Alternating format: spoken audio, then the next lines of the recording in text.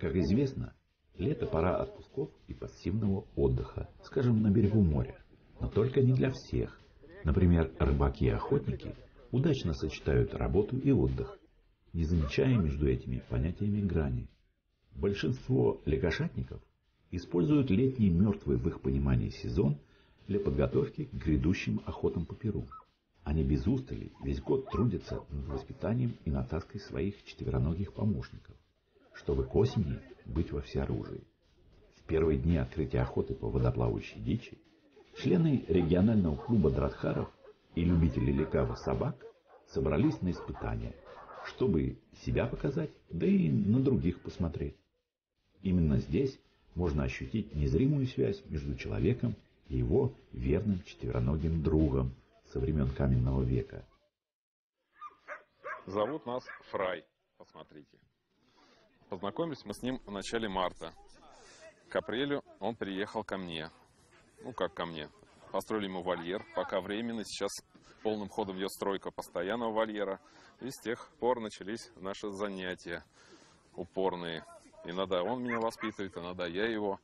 Иногда вредничаем, да? Потом ищем хозяина, куда он спрячется. Ну, все идет своим чередом. Научились плавать, носить, подавать палку с воды, с суши, да? А сейчас приехали посмотреть на местный бомон, так сказать, дратха, дратхаров, ну и легавых других. Запомнить, как, что здесь правильно делается, чтобы на следующий год самим поучаствовать в этом мероприятии уже полноценным членом и претендовать на дипломы. Да? Да. На испытания выставляются легавые, в большинстве своем дратхары младшей возрастной группы, то есть в возрасте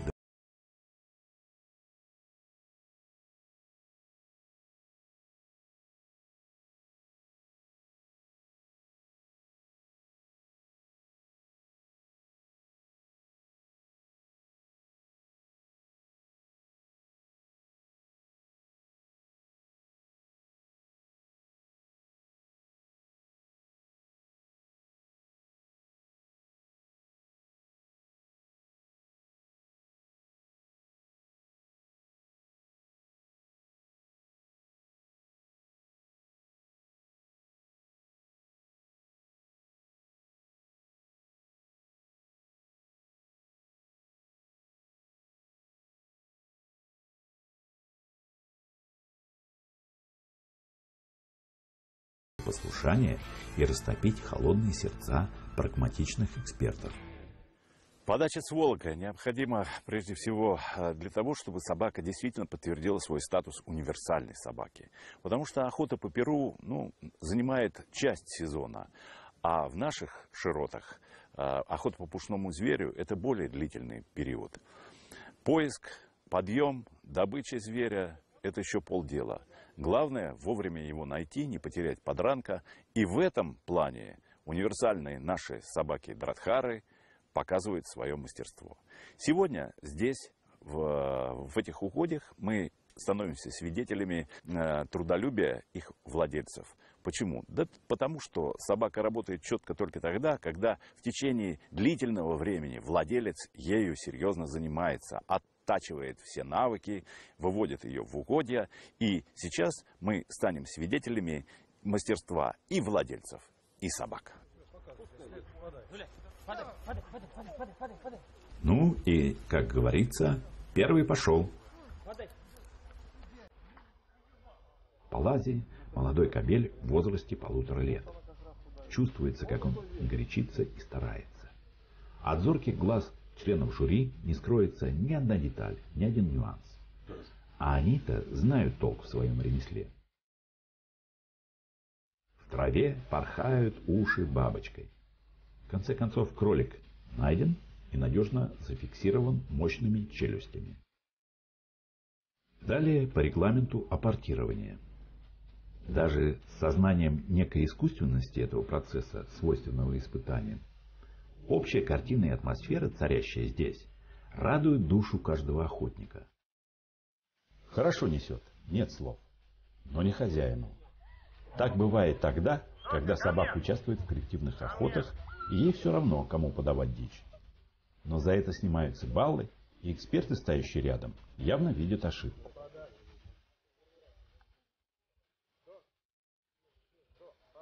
Как же Цу не хочется расставаться с дичью. Интересно, как прокомментирует работу очередных участников профессионал воспитания Драдхаров Александр Исаев. Испытания по подаче дичи с волока проводятся как по птице, так и по кролику, по зайцу. Это очень в общем-то, необходимые испытания для подготовки собаки к охотничьему сезону. Ведь подранков много бывает. И у птицы подранки, и у зайца подранки, лисицы подранки. Так вот, задача наших собак – это найти по оставленным следам, найти эту живность и принести хозяину. След прокладывается э, расстояние от 150 до 500 метров. Э, несколько э, прямых под прямыми углами, чтобы были обязательно повороты. И вот и как собака проходит по следу, все это просматривается, как она идет, э, скалывается, что такое, это то есть уходит, со, со, может уходить со следа вправо, влево. Ну, э, леговые собаки, как правило, они же челночного плана собаки, то у них скол бывает, э, ну, почти у всех, но уж идеально работающие собаки идут строго, четко по следу. И задача э, хозяина ставить собаку на начало следа этого, и дается команда принести, найти, или как они там адаптированы друг к другу хозяин и собака, чтобы понимали, и собака уходит, находит эту живность кролика или э, утку, или куропа, или фазана протаскивает, и, и принесет хозяину. Вот отдается все две команды. Искать и когда собака приходит, она должна подойти, сесть рядом с хозяином, и вторая команда дай, чтобы она отдала. Вот тогда это, класси... это классическая работа собаки. Ну, что мы сегодня видим? Ну, по-разному работают собачки. Одни идут э, сразу по следу проходят, находят, приносят. Другие могут и возвращаться, но время, э, выделяемое собаки на прохождение следа, это 10 минут. Если она в течение 10 минут не освоила ту программу, которая перед ней ей запланирована, то значит собачка просто снимается. Вот собачка скалывается следа, переходит на челнок, ну или мало обученная, или, в общем, трудно, трудно это объяснить, что она будет делать. Ну все, хозяину дальше идти нельзя, Владимир Иванович, вы остановите его. Ну, дается время, 10 минут. Нет, собачка снимается с испытаний. Ну, готовить надо собачку, чтобы испытывать или на состязание выставлять собачку надо готовить. Давай. Да, берите собачку хозяина. Не идет, собака не пошла в поиск по следу. Теперь внимание! Среди шоколадных спин Дратхаров мелькнула молнией веймерская легавая. Достойный соперник. Посмотрим, какова эта собака в работе. Он начинает хорошо след, смотри. Вот идет, тут на, на, идет чисто вслед идет. Вот скололся, чуть ушел, но тем не менее. Вот стал вслед. Нет, снова скололся. Ну, молодец, возвратился, проверил, смотри-ка. Пошел, вслед стал хорошо, молодец.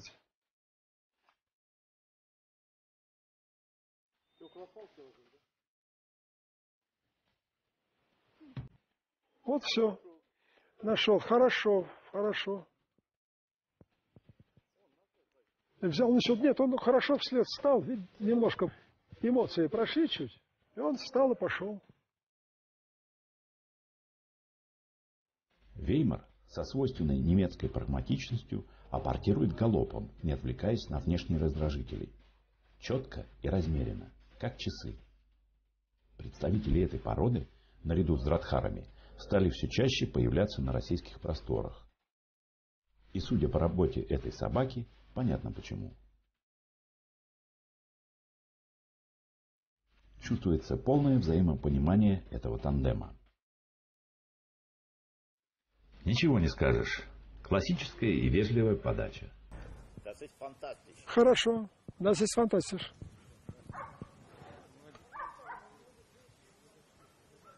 Ну что, приятно. Ко мне. Ко мне быстро. Ко мне. Ищи потерял. Ну и, конечно, любопытно посмотреть, как сработает собака, воспитанная самим Александром Исаевым.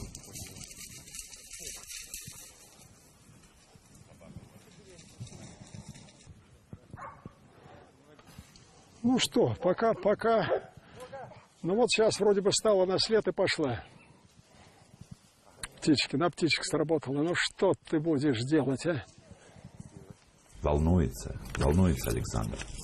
На его собаку обращены взоры буквально всех участников испытаний. Елки-палки, ну, скалывается, уходит куда-то, не пойму. Ну что ты будешь делать, а?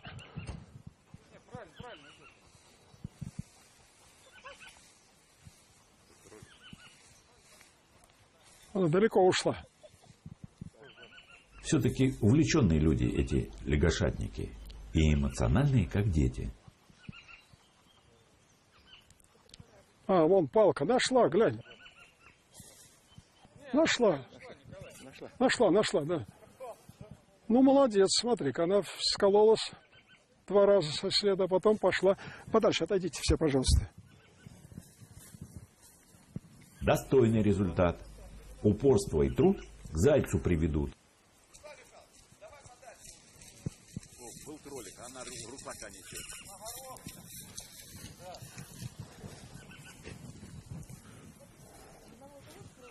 Ну, умница.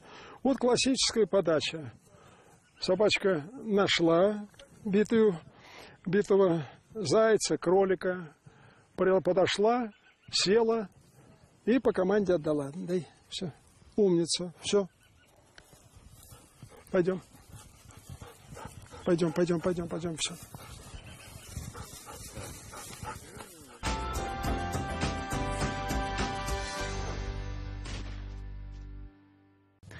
А сейчас участники и жюри готовятся ко второму этапу испытаний оценка работы легавых по водоплавающей дичи. На данном этапе оценивается готовность или реакция собаки на выстрел, ее готовность войти в воду, работать в крепях, оценивается чутье, э, э, поиск битой утки ее апортирование. Итак, мы начинаем второй этап испытаний. Место для испытаний выбрано не случайно. Неглубокий, умеренно заросший камышом пруд с многочисленными усынками, где притаилась выпущенная до начала испытаний утиная стая. Словом, здесь есть все, что нужно для проверки собачьих навыков и способностей. Мешает только ощутимый полуденный зной.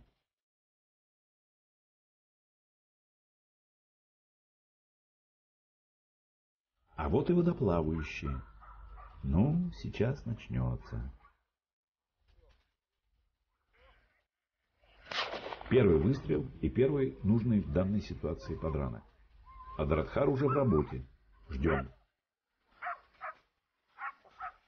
Ох, и нелегко сухопутному псу догонять водоплавающую дичь. Да еще на глазах у многочисленных зрителей.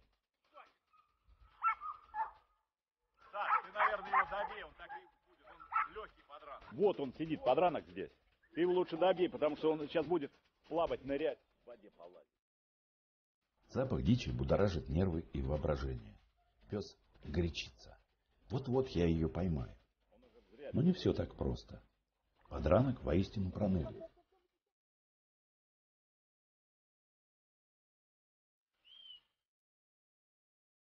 Владелец отзывает испытуемого с воды и чуть позже запускает вновь, указывая ему место поиска.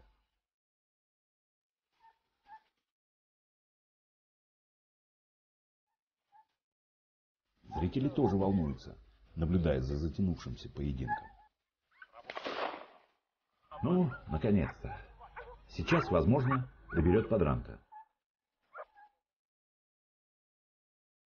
Браво!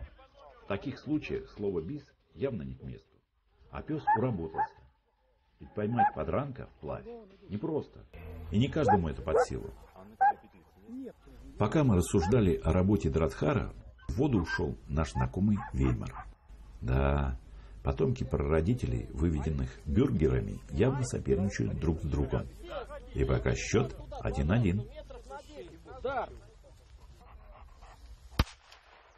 Чтобы у собаки не рушить алгоритм и привычный стереотип реальной охоты, имитируется выстрел с последующим падением утки. Ведущий отправляет в камыши нового претендента на славу. А эксперты все считают. Баллы, провалы, удачи и сбои. Но собаке главная награда – возможность поработать от души. Вот это конфуз. Где-нибудь на охоте собаке все сошло бы с рук или с лап. Но здесь испытание. И неприлично чистокровному Драдхару уносить дичь от хозяина и оставлять где попало. Такой ляп наверняка замечен и будет учтен экспертами. За послушание снимаем 6 баллов, потому что убегает сбитой птицей, несмотря на команды ведущего. И выносит птицу сторону и кладет на сушу. Это снимается 7 баллов еще. А это наш старый знакомый. Помните, его подопечный на предыдущих испытаниях во время подачи дичи с волока поделился кроликом со зрителями. Теперь же все сделано правильно.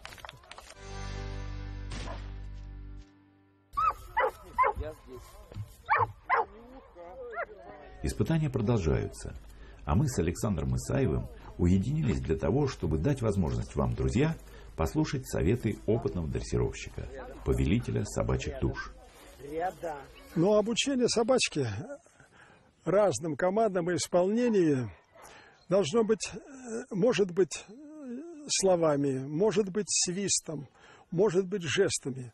Как правило, вот собака сидит – или лежит, или идет. Но маленькая собачка, как правило, идет через подачку, через подкормку, чтобы она исполнила, ей подкрепили это. Правильные действия закрепляются. Абсолютно верно. Я хочу вам просто показать некоторые моменты в исполнении, выполнении собакой определенных команд. Вот собака сидит. Я даю ей команду лежать, но можно команду лежать, можно команду, как в охоте более приемли, команда оп, оп. Для чего я поднимаю руку и даю команду?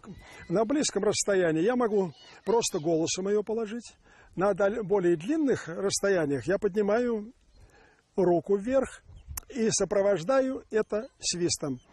Команда ко мне. Исполняем. Ко мне. Быстро. Обойди обходить, подойти и сесть. Вот она выполняет команду ко мне. Я мог ее позвать просто жестом рук. Или голосовое это ко мне. Оп. Умница. Все хорошо. Как правило, после выполнения всякой команды собаку надо поблагодарить, сказать ей, что она молодец, оп, была команда. Вот так вот. Или жених хулиган. Вот это такие коротенькие команды. Как они достигаются и каким путем? Ну, терпение и труд, перед, все перетрут. Собаки бывают чуть более возбудимые, чуть менее возбудимые. И надо не торопиться в этом в процессе становления собачки. Не надо. Тут торопливость не нужна она, знаете, ведь есть вот особенно особи э, мужского пола, кобелей, исполнив что-то, сделав, а потом какую-то слабинку получил он, он в следующий раз эту слабинку попробует на хозяине, а может быть мне можно. Вот такой вот. Поэтому постоянно, настойчиво и одно и то же, и все, кто соприкасается с собакой, должны требования у них быть единые однообразно, и всеми, кто с ней контактует, вот особенно э, собак, которые живут, допустим, в квартире, э, все члены семьи, команды должны быть одни. Не просто сю-сю-сю-сю, а команда конкретная, не повышая голоса, спокойно, но очень уверенным голосом.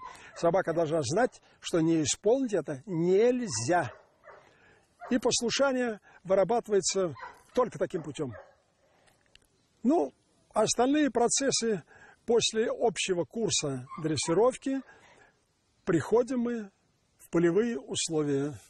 И в полевых условиях начинаем точно так же готовить собачку, начиная с малого и прибавляя ей информации, прибавляя ей движения. Допустим, подачу надо начинать собачку учить с малого возраста.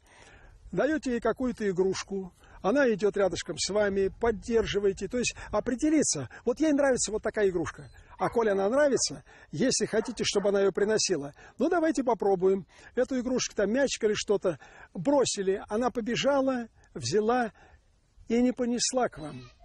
Ей захотелось поиграть. Но давайте попробуем другим путем. Определяем какую-то типа удочки, на нее э, на, на леску на, или на шнурок определенный привязываем эту игрушку которая ей нравится, и спокойненько бросили. Собачка подбежала, даете команду, она подбежала, взяла, и вы ее за эту удочку, за эту веревочку к себе подтягиваете, посадили. Собачка начинает понимать, что надо это принести. Когда она это сделала, и когда она с охотой идет, но может уйти в сторону, привязывайте собачку за ошейничек. Бросаете эту игрушку, даете команду «принеси, подай», она взяла, вы ее молча к себе подтягиваете и посадили, взяли у нее этот предмет, желательно через лакомство. И тогда она очень быстро, Радхар очень быстро начинает исполнять все эти команды и все ваши требования. Я хочу показать вам, как начинается обучение собаки э, в подаче кролика. Начинается это с небольшого расстояния. Укладывается собачка на месте. Оп. Относится кролик на определенное расстояние.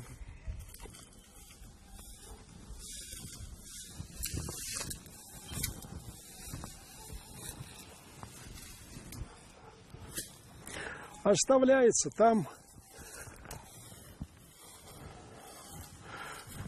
И собачке дается команда Принеси. Принеси быстро.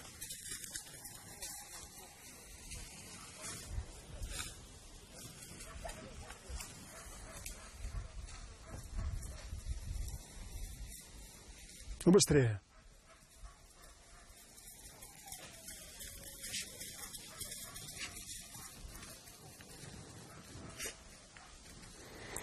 Вот она пошла, взяла этого кролика, Спасибо, молодец, молодец, спасибо, все хорошо.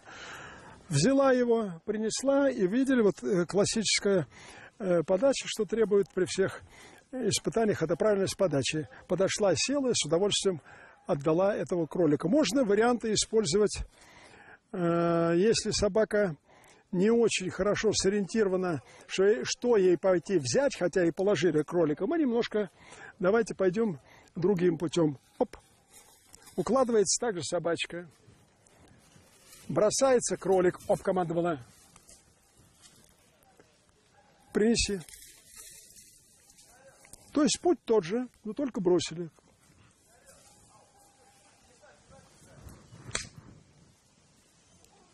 Ну быстрее, быстрее, я жду.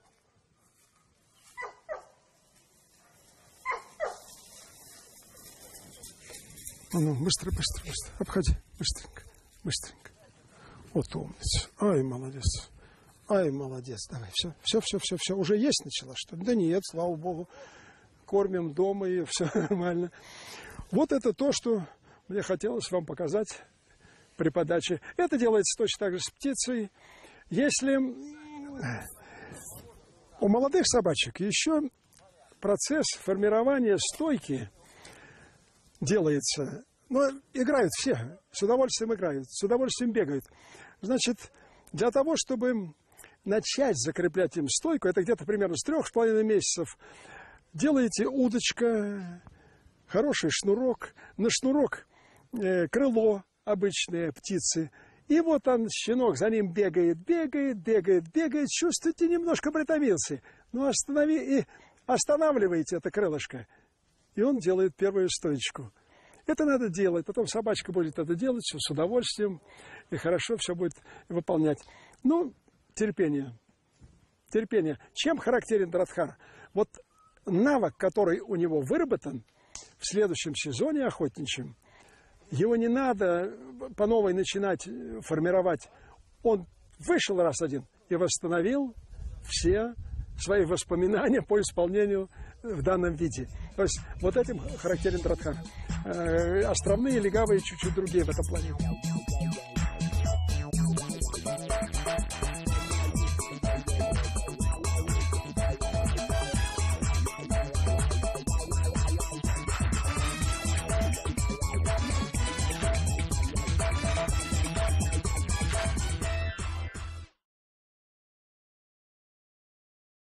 Испытыватели на состязание выставляют. Собачку надо готовить.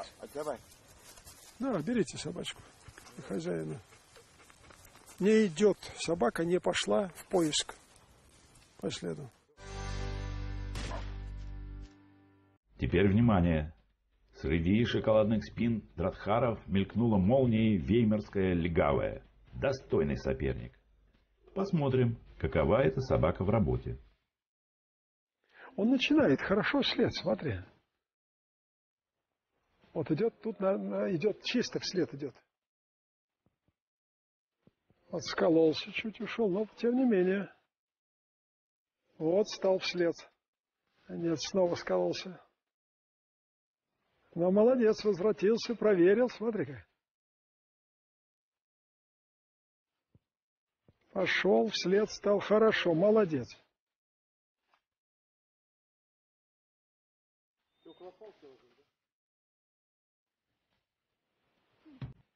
Вот все. Нашел. Хорошо, хорошо. Взял насчет. Нет, он хорошо вслед встал. Немножко эмоции прошли чуть. И он встал и пошел. Веймар со свойственной немецкой прагматичностью апортирует галопом, не отвлекаясь на внешние раздражители. Четко и размеренно, как часы. Представители этой породы, наряду с дратхарами, стали все чаще появляться на российских просторах. И судя по работе этой собаки, понятно почему. Чувствуется полное взаимопонимание этого тандема. Ничего не скажешь. Классическая и вежливая подача. Хорошо. Das ist fantastisch.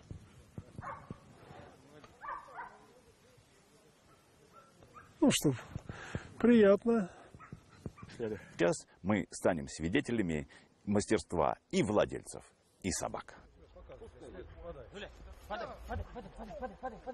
Ну и, как говорится, первый пошел. Палази молодой кобель в возрасте полутора лет. Чувствуется, как он горячится и старается. От зорких глаз членов жюри не скроется ни одна деталь, ни один нюанс.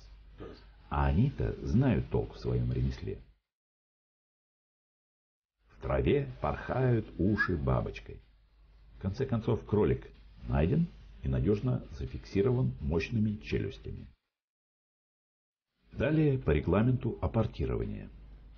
Даже с сознанием некой искусственности этого процесса, свойственного испытаниям, Общая картина и атмосфера, царящая здесь, радует душу каждого охотника. Хорошо несет, нет слов, но не хозяину. Так бывает тогда, когда собака участвует в коллективных охотах, и ей все равно, кому подавать дичь. Но за это снимаются баллы, и эксперты, стоящие рядом, явно видят ошибку.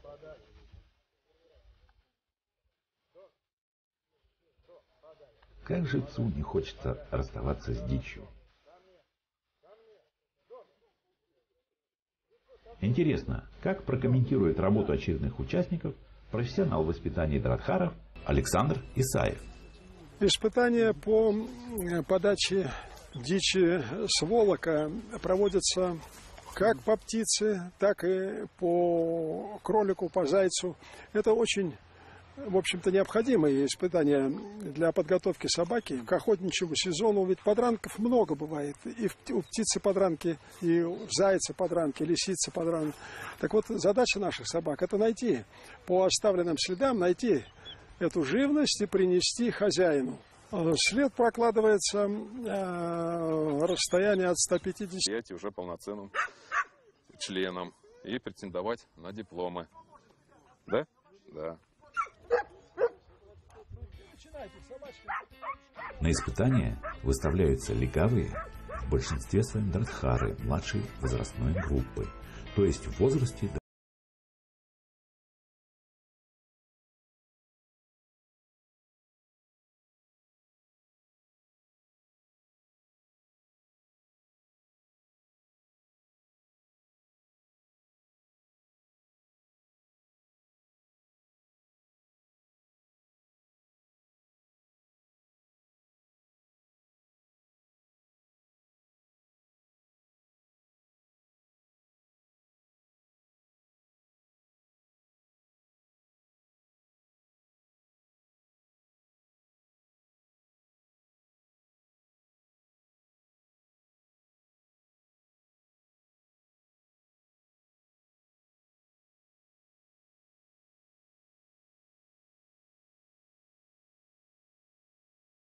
послушания и растопить холодные сердца прагматичных экспертов.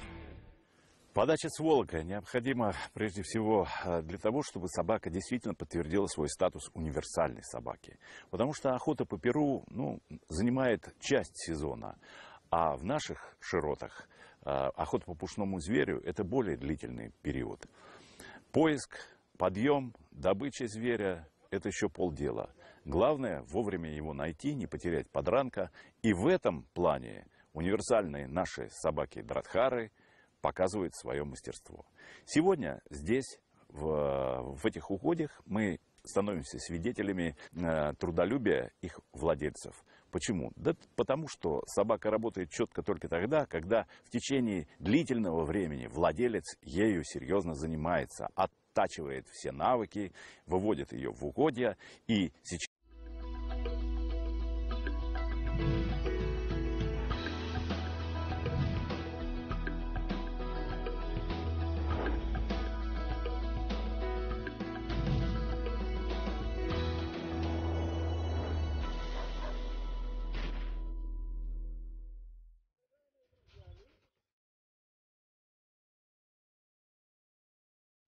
Как известно, лето – пора отпусков и пассивного отдыха, скажем, на берегу моря. Но только не для всех. Например, рыбаки и охотники удачно сочетают работу и отдых, не замечая между этими понятиями грани. Большинство лягошатников используют летний мертвый в их понимании сезон для подготовки к грядущим охотам по Перу. Они без устали весь год трудятся над воспитанием и натаской своих четвероногих помощников чтобы к осени быть во всеоружии. В первые дни открытия охоты по водоплавающей дичи члены регионального клуба Дратхаров и любители лекавых собак собрались на испытания, чтобы себя показать, да и на других посмотреть. Именно здесь можно ощутить незримую связь между человеком и его верным четвероногим другом со времен каменного века. Зовут нас Фрай, посмотрите. Познакомились мы с ним в начале марта. К апрелю он приехал ко мне. Ну, как ко мне. Построили ему вольер, пока временно. Сейчас полным ходом идет стройка постоянного вольера. И с тех пор начались наши занятия упорные. Иногда он меня воспитывает, иногда я его. Иногда вредничаем, да? Потом ищем хозяина, куда он спрячется. Ну, все идет своим чередом. Научились плавать, носить, подавать палку с воды, с суши, да? А сейчас приехали посмотреть на местный бомон, так сказать, дратха, дратхаров, ну и легавых других. Запомнить, как, что здесь правильно делается, чтобы на следующий год самим поучаствовать в этом мероприятии. До 500 метров, э, несколько э, прямых, под прямыми углами, чтобы были обязательно повороты. И вот и как собака проходит по следу, все это просматривается, как она идет, э, скалывается, что такое, это то есть уходит, со, со, может уходить со следа вправо, влево, ну, э, легавые собаки, как правило, они же челночного плана собаки, то у них скол бывает, э, ну, почти у всех, но уж идеально работающие собаки идут строго, четко по следу. И задача э, хозяина ставить собаку на начало следа этого, и дается команда принести, найти, или как они там адаптированы друг к другу хозяин и собака, чтобы понимали, и собака уходит, находит эту живность кролика или э, утку, или куропа, или фазана протаскивает и, и принесет хозяину. Вот отдается все две команды. Искать, и когда собака приходит, она должна подойти, сесть рядом с хозяином, и вторая команда дай, чтобы она отдала. Вот тогда это, класси, это классическая работа собаки. Ну, что мы сегодня видим? Ну, по-разному работают собачки. Одни идут э, сразу по следу проходят, находят, приносят. Другие могут и возвращаться, но время, э, выделяемое собаке на прохождение следа, это в ч- 10 минут. Если она в течение 10 минут э, не освоила ту программу, которая перед ней есть запланирована, то значит собачка просто снимается. Вот собачка скалывается следа, переходит на челнок, ну или мало обученная, или, в общем, трудно, трудно это объяснить, что она будет делать. Ну все, хозяину дальше идти нельзя, Владимир Иванович, вы остановите его. Ну, дается время, 10 минут, нет, собачка снимается с испытаний. Ну, готовить надо собачку, чтобы